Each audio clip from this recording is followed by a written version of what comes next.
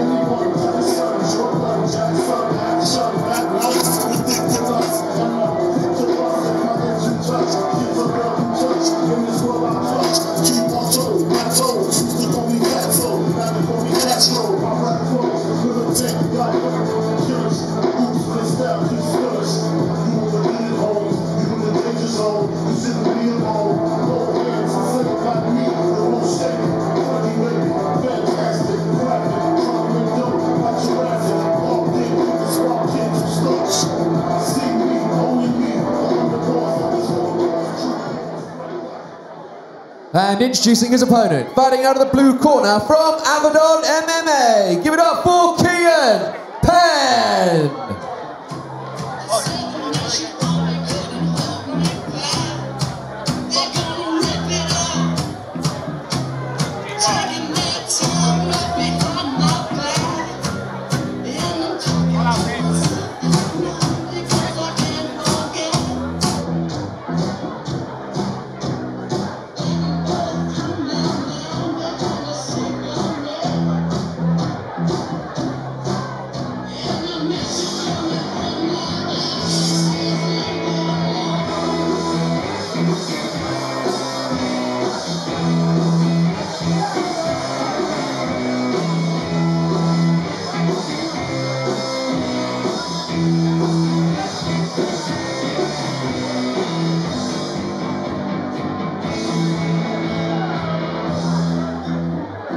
Penn.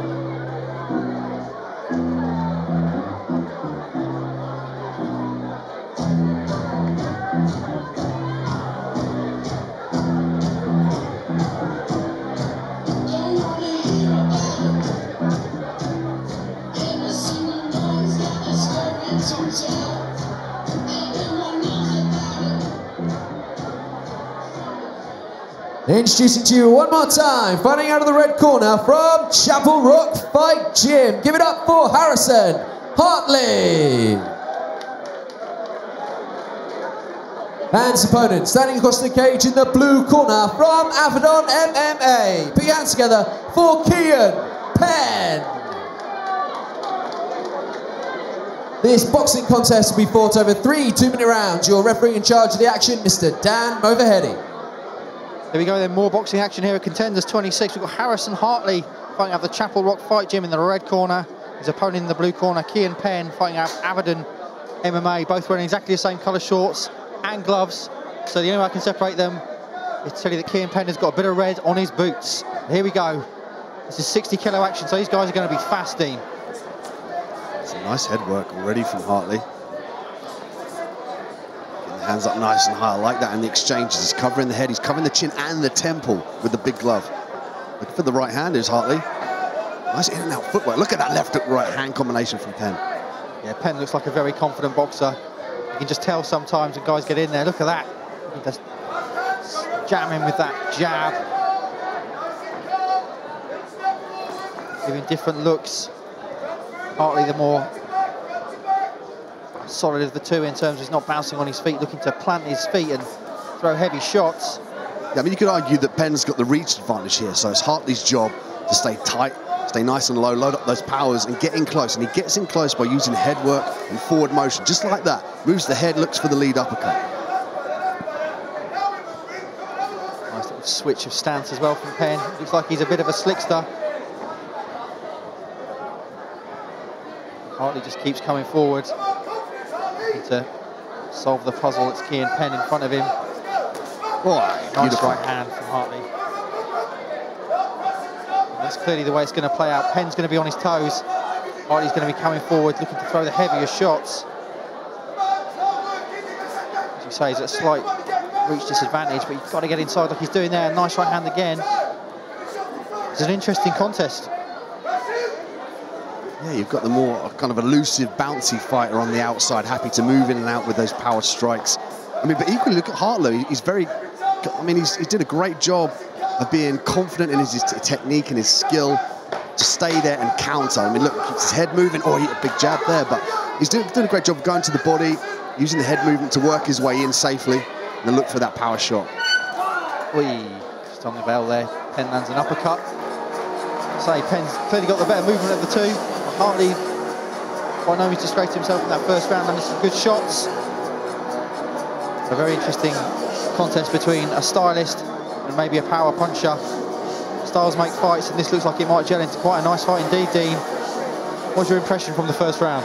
Yeah, very difficult to score, actually. I, I don't usually like to allude to in case you look silly on the judges' scorecards, but that was really close. I mean, check out the replay here. See some of the footwork here and, and the nice cover up from Hartley. Penn, look, working his way to find that mark with the right hand, but immediately gains the distance there. He's almost certainly a bit more bouncy in and out on the on the right foot, and Hartley's waiting for him to come in. Look at the head movement there from Hartley, looking to plant that jab, looking for a home for that right hand. Very interesting. Of course, if you're going to fight the way that Penn's fighting, you've got to have some good cardio, um, because as soon as you start to slow down and maybe less bouncing in those feet, you're going to be more of a target. So let's see how this plays out. In round two here, we're back underway.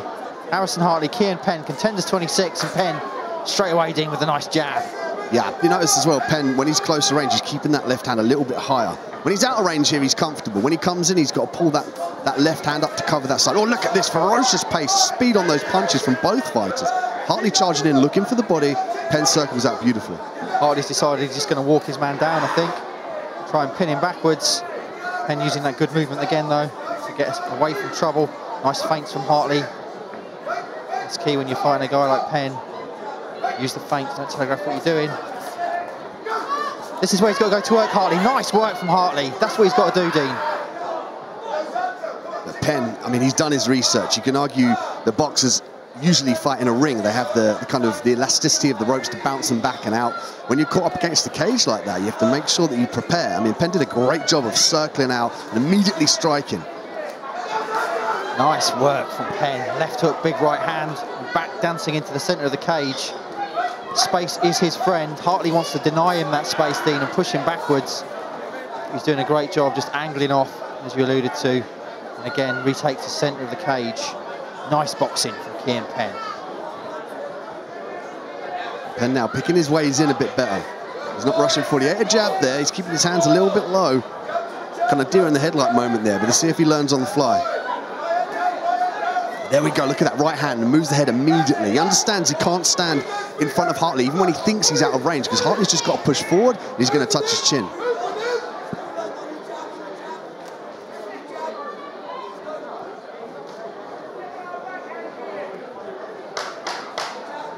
Then the second round here. And just looking for his opportunity. Hey, a nice right hand again from Penn. It's the bull and the matador so far, Dean. Penn's been the matador and Hartley's been the bull. He's pinned him up against the cage for the first time in that second round, which is what he needs to do. But maybe just not had enough of that so far as Penn's been able to angle away from danger and land some nice shots on the counter and on the back foot. Yeah, Penn did a good job as well using fakes and feigns to set up that right hand. Um, he did a, much better job of that in, in, in this second round. Look at the replay here, look. Looking for the uppercuts there. His hands are quite low in this position here. He's cut close, opted to look for the clinch. There's, there we go, circles out beautifully. Pins the head towards the cage, which forces Hartley to be off balance, and he uses that opportunity to circle out. The uppercut swing and a miss there from Penn. So this is where Hartley wants to fight. He needs to push him back and, and have him against the cage. But again, look look at that beautiful angling out. Getting out of trouble from Penn. Fantastic foot movement, Dean. Hartley walked on straight onto that right hand there. He's, it seems like maybe he's a little bit tired. He's kind of I don't want to say frustrated, but he's kind of stepped back away from all that beautiful head movement we saw earlier on that's allowed him to get close to Penn. So we go third and final round. Kian Penn, Harrison Hartley. Penn, the stylist, up on his toes. Hartley looking for the big shots, looking to walk his man down. Nice head movement from Hartley, for that space.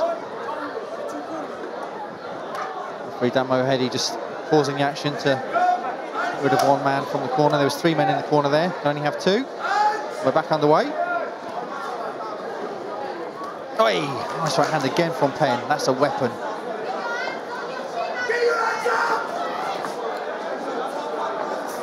And now working back to the cage. You've got to keep his hands up in this position, however. If he gets pushed back and his hands are down, Hartley's using the cage to, to kind of circle into Penn and drive him forward. You notice that Hartley comes forward a little bit and then he caught, and he creates an angle to try and circle Penn down to that cage. See, slowly but surely, look, Penn's getting closer and closer to the cage. Penn's doing a great job of circling off, however. Every time, it's like there's a little uh, little thing in his head that he, he knows he's coming towards the cage and he circles off and dances away from danger back to the centre of the cage. Fantastic boxing from Penn.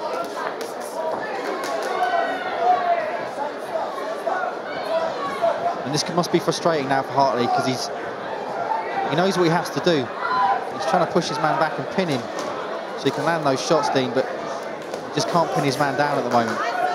He's got to go for it. He's got to pick a time and go for it. As soon as he sees the shoulders twitch with Penn, he's got to work that head movement to come up top, look for the body shots as well. He's kind of sitting back a little bit more on his back foot now, which allows Penn to dictate the distance. That's a nice overhand right, however. Just sort of his full power, though, because he seems to me like he's reaching a bit too much. Yeah, absolutely. Also can be off-putting, of course, if you're used to boxing, sparring in a ring, into this giant cage, it must seem like there's so much space in there, Dean. Maybe that's a little bit of what Hartley's struggling with at the moment in terms of tracking Penn down. Yeah, I mean, you could argue that is played into Penn's favour. Look at this yeah. barrage of punches straight down the pipe, look at that. And Penn, uh, just a master of distance, a master of his environment here. They did a great job of firing quick punches. You know, you, could argue he had the feet, the footwork, the reach, and the speed advantage in this fight. Absolutely, that was a good way to end it. Just demonstrates the story of the fight, really, as he finished with a crescendo of punches to maybe just put the exclamation mark on what you'd expect to be a points win here for Kian Penn. Some excellent boxing skills from Kian Penn. Harrison Hartley showed great height in there. I'd like to see that young man back in the cage very soon as we await our third decision of the evening from our MC, Mr. Tom Vince, just waiting for the judges to tally up their scorecards. As I say, do hit us on Twitter, hashtag contenders26. Let us know what you think of the fight so far. Mark Heath, Dean Midhat here with you tonight. Don't go anywhere, we're just getting started. We have an absolutely corking card of action for you. K1 coming up next, and then some massive pro MMA later on, the card, including Przemysław, the Polish bear, Mysiala his first appearance since competing as a heavyweight on the Ultimate Fighter TV show. There we go, just waiting for the official verdict now.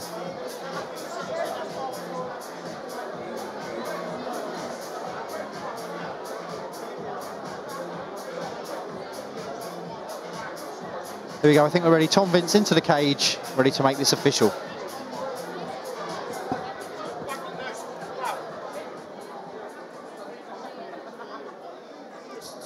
Ladies and gentlemen, let's hear it for both these young men here in the cage, please. After three hard-fought rounds, we have a unanimous decision. Your winner in the blue corner, let's hear it for Kian Penn. Give it up for Harrison Hartley.